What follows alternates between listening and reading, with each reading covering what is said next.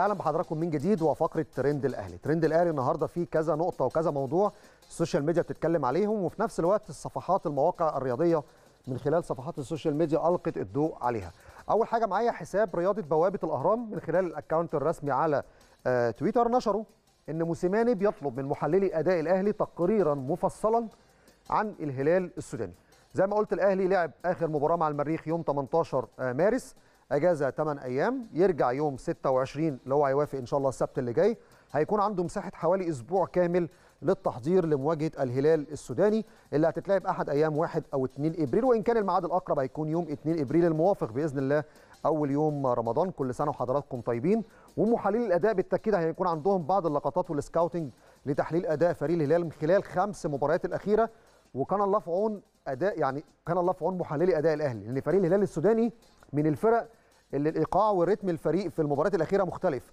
مرة يعملوا مباراة كبيرة ويكسبوا المريخ بعدها على أرضهم يخسروا من سان داونز 4 2 فبالتالي هيكون في تباين في مستوى فريق الهلال وده بالتأكيد هينعكس على الرؤية الفنية للتحضير لمواجهة الهلال في الجولة الحاسمة والأخيرة اللي الاهلي محتاج فيها نقطة على الأقل للتأهل إلى الدور ربع النهائي لكن الهلال السوداني ما عندوش أي خيار آخر سواء الفوز على الأهلي ولو بهدف مقابل لا شيء وإن شاء الله ده مش هيحصل والأهلي يتأهل الدور ربع النهائي. كورة بلس بيتكلموا على عاجل حقيقة عروض قفشة للرحيل عن الأهلي. الغريب بالنسبة لي إن عمري ما قريت إن في عرض جاي لقفشة وإن في عروض بتتناقش بخصوص قفشة.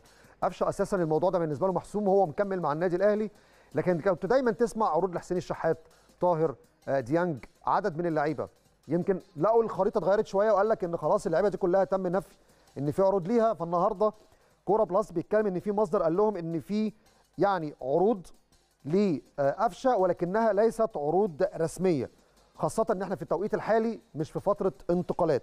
وأضاف إن قفشه ده المصدر اللي قال لكوره بلس قفشه من أحد أبرز اللاعبين في الأهلي لكن بعض الأندية ممكن تستفسر عن إمكانية انتقال قفشه ليهم خلال الفترة اللي جاية. لكن عروض رسمية مفيش. طب طالما مفيش عروض رسمية إيه الفكرة من الخبر نفسه؟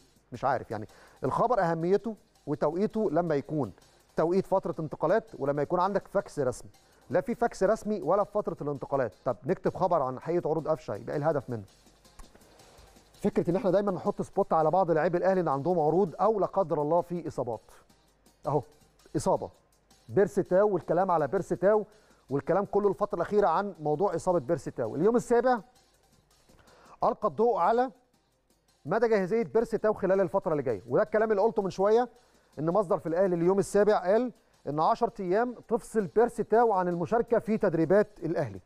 كان اللاعب تعرض لإصابة بكدمة في الركبة خلال مباراة المريخ السوداني لكن في برنامج تاهيلي وعلاجي ليه خلال الفترة الحالية عشان يكون جاهز عقب العودة من الأجازة والفريق يكون جاهز ويكون معاه بيرسي تاو قبل مباراة الهلال السوداني.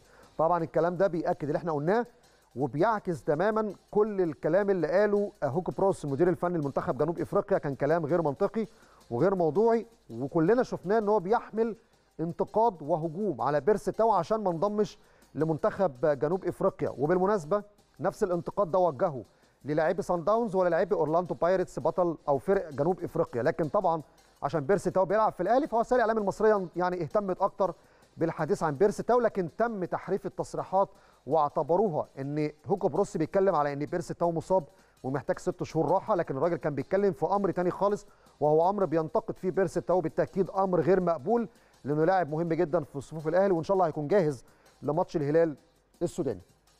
طيب الوطن سبورت بيتكلموا على صفقة أو إمكانية عودة محمود كهربا. الحساب الرسمي لوطن سبورت على تويتر نشروا إن مصدر بالأهلي قال إن موسيماني يرفض اقتراح لجنة التخطيط بشأن عودة كهربا. أصلا لا لجنة التخطيط اجتمعت ببيتسو موسيماني ولا لجنة التخطيط عرضت على بيتسو موسيماني عدد من اللعيبة اللي ممكن انتهت إعارتهم فممكن يرجعوا ولا الكلام ده أصلا اتناقش مفيش أي جلسة يا جماعة حصلت ما بين بيتسو موسيماني مع لجنة التخطيط خلال الفترة الحالية ولا الفترة السابقة. بالإضافة لده كهربا راجع راحة خلال الفترة الحالية بسبب الأجندة الدولية. وبالتالي مفيش أي نقاش عن مين يرجع من الإعارة دلوقتي ولا حتى في اجتماعات تمت مع كهربا. الموسم هينتهي بالنسبة لكهربا في تركيا على أواخر شهر 6 وبالنسبة لمصر على أواخر شهر 8 مش هنبدأ نتكلم في القصة دي إلا لما الموسم يخلص على شهر 5 ما يمكن كهربا يمشي بشكل كويس والجهاز الفني يطلب عودته. ممكن يكون لسه محتاج فترة تانية مع الفريق التركي والفريق التركي يطلب مد الإعارة ويكون مكمل معاه بعد الست شهور. لسه بدري على النقاشات دي ولسه بدري على الأخبار دي في الفترة الحالية وإحنا لسه عندنا مشوار إفريقي ومحلي ومحدش أصلا بيتكلم لا في صفقات ولا انتقالات وكل الأمور دي أصلا معلقة لبعد حوالي 3 4 شهور. طيب خبر تاني متعلق بموسيماني وأيضا مين اللي راجع من الإعارة. الحساب الرسمي للمصري اليوم الرياضي بيتكلموا عن بتوصية من موسيماني الأهلي يضع شروطا لإعارات الموسم الجديد. الفكرة إن لجنة التخطيط استقرت على وضع نسبة المشاركة 50% من إجمالي عدد المباريات للوقوف على مستوى اللاعبين العائدين من الإعارة.